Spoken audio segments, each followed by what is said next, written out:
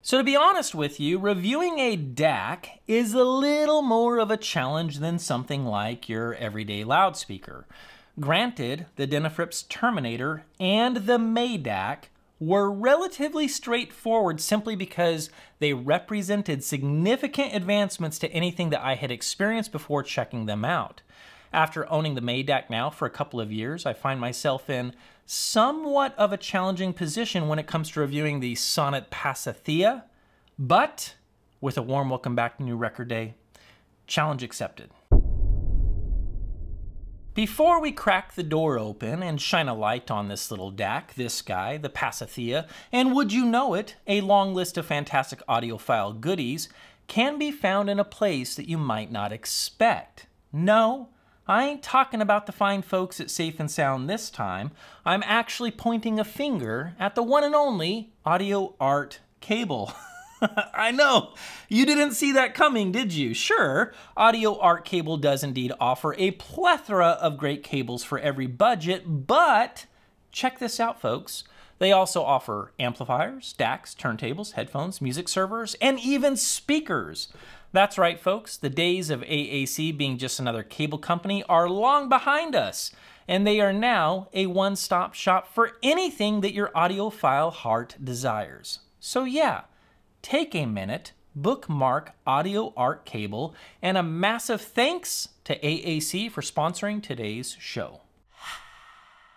Remembering it like yesterday, hearing R2R or a ladder DAC for the very first time, it was like jumping into a refreshing swimming pool at the perfect temperature after working in the sun all day long.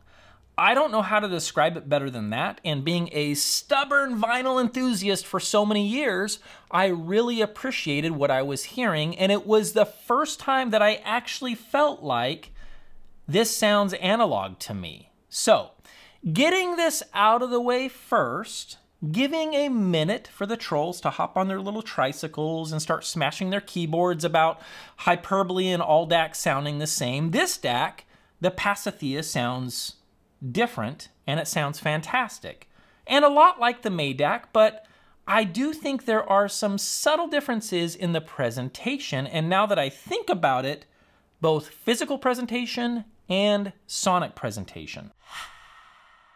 Before delving into the reasons why you might consider integrating this $5,000 DAC into your audio setup, I'd like to discuss a couple of minor aspects that, given the hefty price tag, warrant some scrutiny. I recently posed a question on my community page on YouTube. If you're making a substantial investment in a component like a DAC, would aesthetics and functionality be important factors for you, or would exceptional sound quality alone suffice? This leads me to the first observation that I must make for an honest and balanced review. In terms of build quality, this unit, at least in my humble opinion, doesn't inspire a great deal of confidence. While it has a decent appearance, it's only fair to draw a comparison to my very own Maydac, which not only delivers outstanding sound, but also boasts an exceptionally attractive design.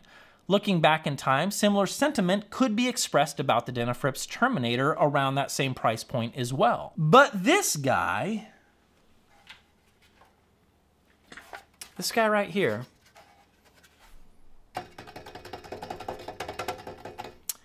I don't know. I just keep scratching my head. The steel chassis around the unit appears to be, I don't know, similar to the cages that we see in affordable hi-fi components all the time. Additionally, I noticed that on the rear, these RCA jacks, uh, they lean towards being, I don't know, like budget, hold on, like budget oriented. Okay, this is not a setup. So this right RCA jack is actually loose. It kind of illustrates exactly what I'm talking about is in terms of just build quality and what you're getting, you know, for that kind of price. Now look, if this DAC were categorized as like a budget DAC or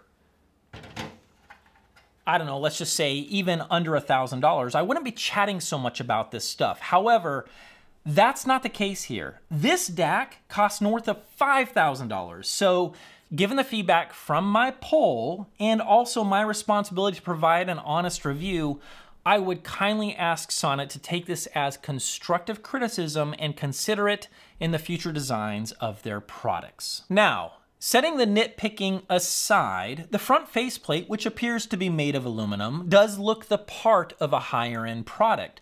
The front buttons all have a sturdy and tactile feel, and the volume control operates smooth as butter. There's a convenient push button for navigating the menu system, particularly useful when making changes to the DAC settings, such as switching between fixed volume and using it as a preamp where you can adjust the volume with the front knob. Additionally, they include a remote control for source selection, volume adjustment, and muting the DAC, which is a welcome feature and it's like hefty steel. So no complaints about the remote at all. Taking a look at the business end of this unit, on the far left, we have an IEC inlet for power, remote switching jacks, USB optical, I2S via Ethernet, AES and coaxial connections for digital inputs.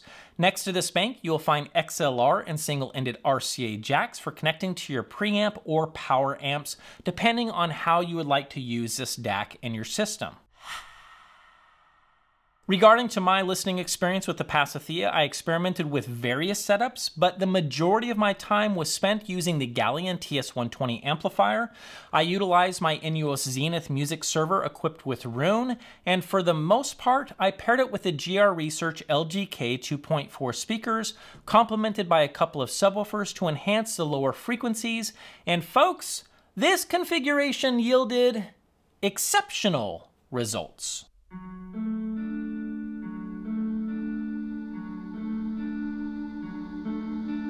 Hey, you couldn't see it coming.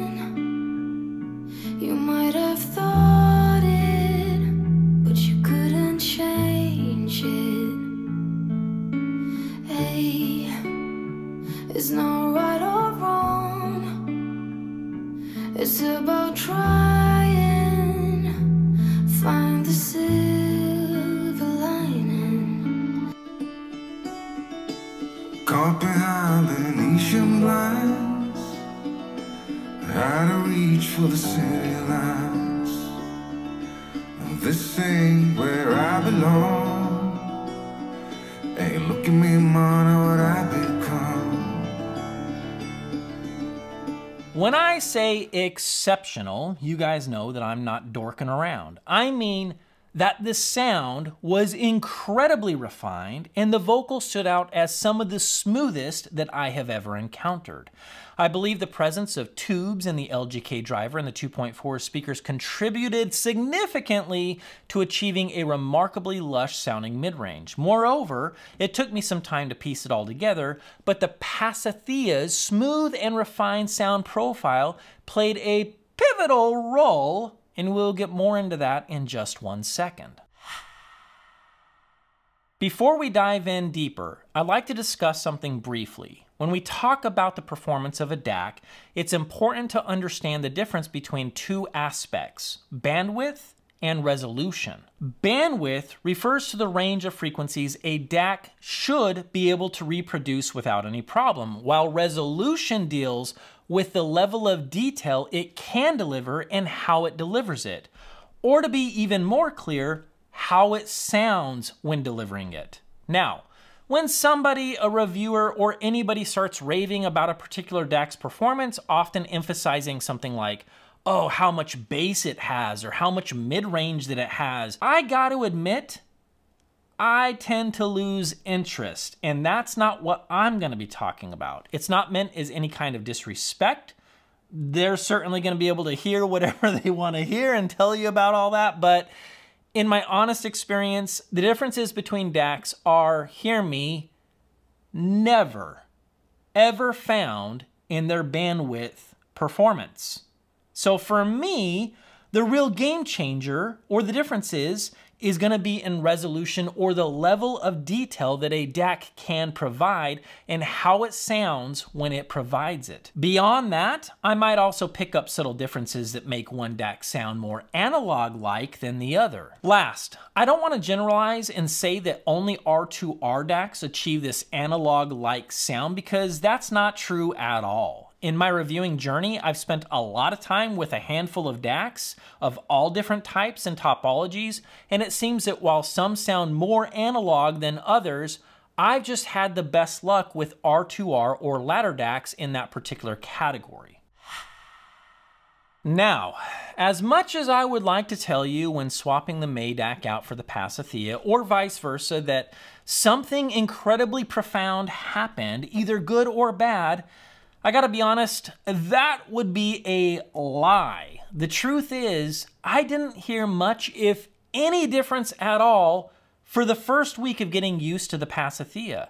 That is to say, in every single category, folks, the Pasithea seem to mimic and trace many of the positive attributes of the May-DAC, and not once did I notice anything worthy of even jotting down as notes for this review. Determined to figure this out, I dedicated more time in the following weeks to continuously compare and analyze.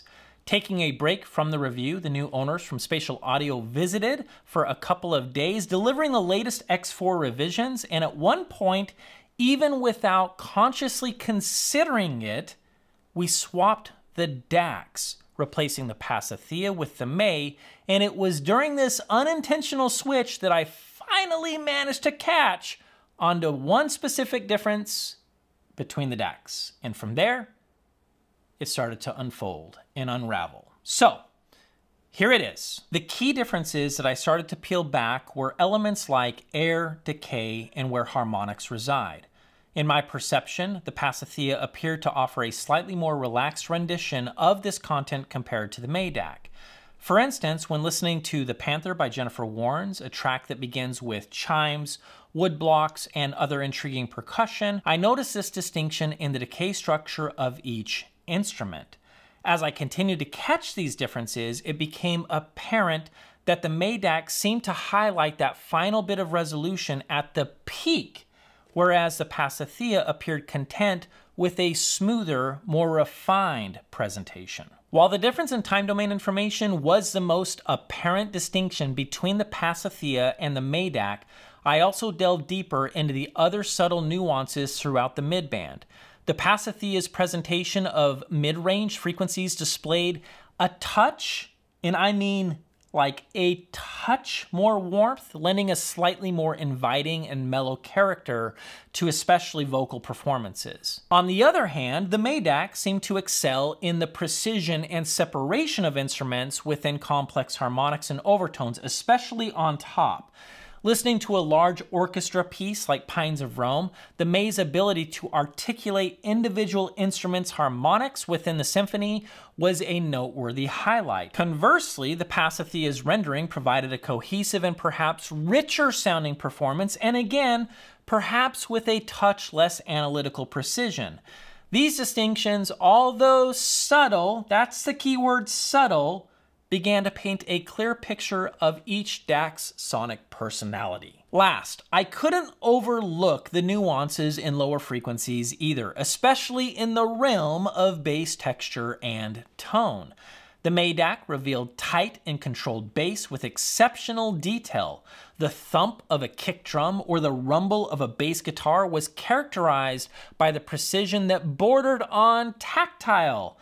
It felt like you could almost reach out and touch the strings vibrating. In contrast, the Pasithea showcased a more rounded bass presentation. Again, while very subtle and hard to notice without really focusing, it added a sense of warmth and weight to the low end. So, depending on your musical tastes and preferences, this could be exactly what you are looking for if you decide to hit the checkout button for the Pasithea. The journey of reviewing the Sonnet Pasithea has been indeed a tough nut to crack.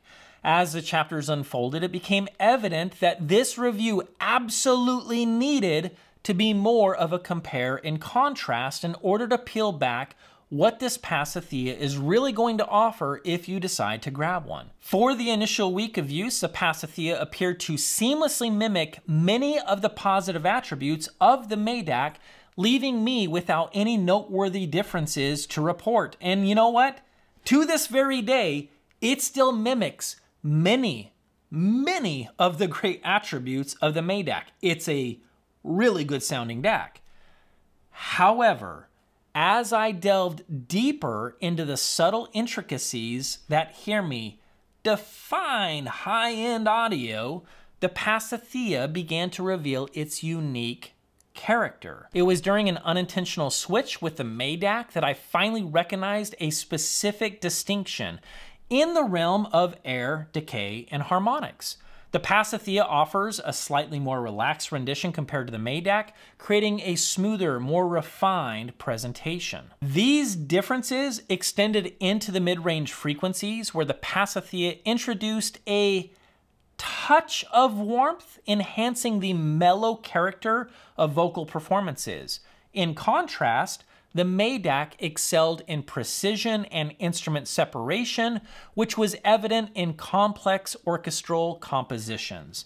The two DACs, while subtle in their variations, painted distinct sound profiles. And last, the lower frequencies revealed even more nuggets worth chatting about, with the May DAC delivering tight and controlled bass with exceptional detail, while the Pasithea added a subtle touch of warmth and weight to the low end, contributing to a round bass presentation. Either way you slice this audiophile bread, the Sonnet Pasithea is one heck of a DAC and you should put it on your short list to audition, especially for those of you who are looking for something smooth and refined and you are willing to trade some detailed information in exchange for that sound profile. And with that, I will see you DAC loving audiophiles in the next video.